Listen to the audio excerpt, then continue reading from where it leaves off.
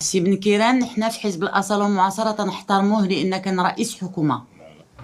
ديال المغرب. وغادي نحترموه إلى الأبد لأن واحد الوقيتة قاد حكومة داخل المملكة ديالنا. ولكن غنجاوبو كأمين العام ديال حزب العدالة والتنمية وكانوا حاضرين معنا في المؤتمر وتنشكرهم لأن فاش تيجيو تيأكدوا بان هما تيحضروا لجميع اللحظات الديمقراطية ديال بلادنا وحزب الأصالة والمعاصره حزب ديمقراطي. سي بن كيران ماشي عاد اتهمنا. اتهمنا سنوات ولكن حنا كان موقفنا ما غاديش نجاوبو.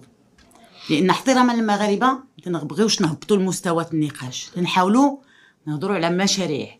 تنحاولوا نلقاو حلول لانتظارات وتطلعات المغاربة والمغربيات اللي خاصه في هذه الظرفية.